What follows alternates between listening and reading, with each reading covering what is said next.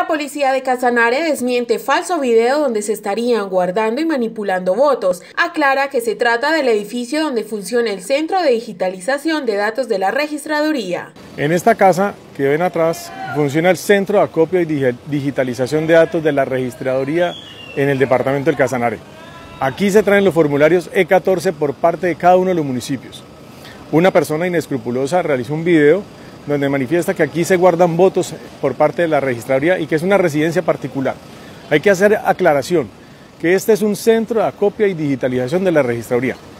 Tiene servicio desde el pasado 25 de octubre y permanecerá con servicio de policía hasta que terminen las elecciones.